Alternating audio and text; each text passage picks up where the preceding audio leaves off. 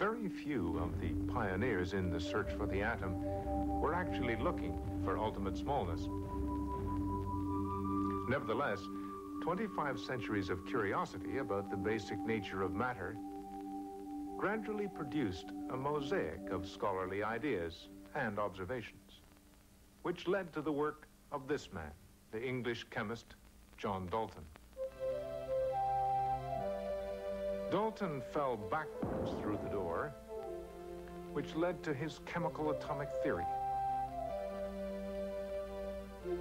He was actually looking for an answer to why water absorbs more of one kind of gas and less of another. He decided that when water absorbs a gas, particles of the gas must fit into spaces or pores between particles of the water. Why does water absorb more of one kind of gas and less of another? Dalton thought some kinds of gas particles were lighter, so relatively few would squeeze between the water particles. While with another kind of gas, heavier particles would sink in greater numbers between the pores in the water. Dalton's theories implied that matter was made up of individual particles with spaces between them. Dalton concluded that elements of matter consist of characteristic kinds of particles. The particles or atoms of an element are identical to each other. Atoms are indivisible There are as many kinds of atoms as there are elements. The atoms of one element cannot be converted into the atoms of another element. Atoms in chemical reactions are neither created nor destroyed, merely rearranged. Dalton's ideas suggested a way of explaining an earlier observation, Proust's law of definite proportions. If each element is a particular kind of atom, then these atoms combine in fixed numbers to form what Dalton called compound atoms. Dalton extended this thinking into his law of multiple proportions, which described how different compound atoms can be formed by two basic elements. The simplest possible formula is one atom of each kind. Next simplest is one of one kind and two of another. After Dalton, the pace of discovery quickened. Michael Faraday used electricity to decompose water into hydrogen and oxygen. He decided that electricity was the force of affinity that held compounds together. Faraday did not agree with Dalton's theories about atoms. Nevertheless, he had found the glue which held Dalton's atoms together. In another experiment, Faraday began with a sparking apparatus to which he connected a glass tube. When he partially evacuated the air from the tube, he saw pink streamers of light flowing between the terminals. Over the years, techniques for reducing pressure in the discharge tube improved. The pattern of light in the tube changed as pressure was reduced. Until finally, in a near vacuum, an eerie green glow illuminated the tube. William Crookes designed more complex vacuum tubes and showed that whatever caused the glow seemed to stream from the cathode or negative terminal. By interrupting this stream from the cathode, he showed that it traveled in straight lines. The stream also caused an increase in temperature of objects in its path. And it also produced a mechanical force, a push.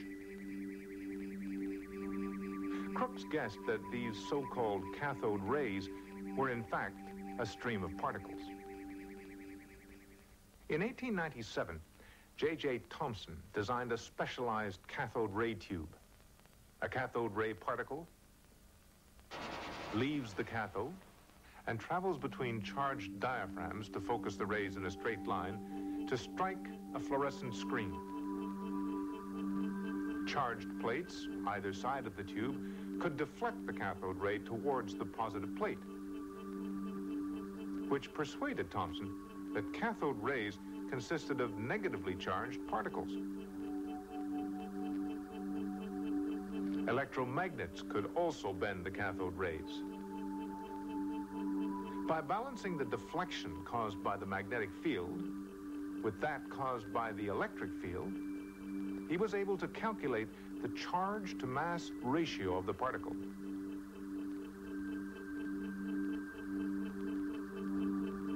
Cathode terminals made of different metals had no effect on this ratio.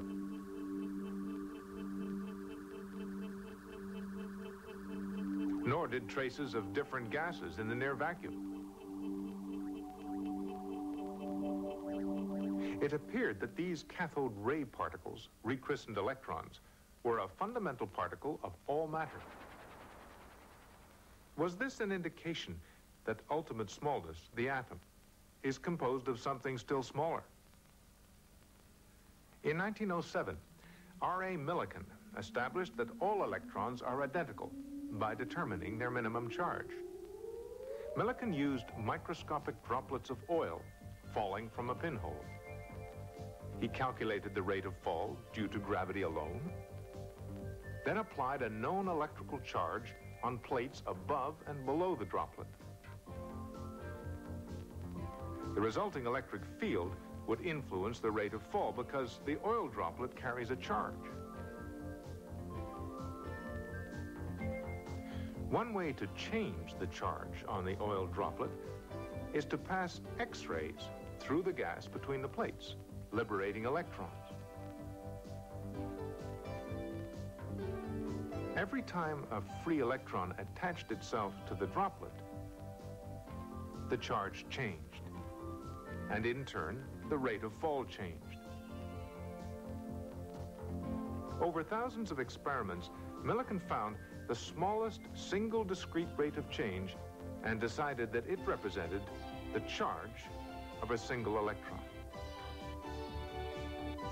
But how could an electron consistently have a basic charge and yet be a part of matter, which normally has no charge? A model of the atom which includes electrons must somehow neutralize them. J.J. Thomson provided the first such model, what became known as the raisin bun model of the atom. He proposed that an atom was a positively charged dough with many negative raisins embedded throughout. He calculated that each positive atom bun required at least a thousand raisins to keep the atom stable. But experiments showed that atoms possessed electrons by the ones, by the tens, or at most about a hundred. Thousand electron buns were too rich for scientific tastes. But back in the kitchen, Another cook was soon to prepare a more satisfying model.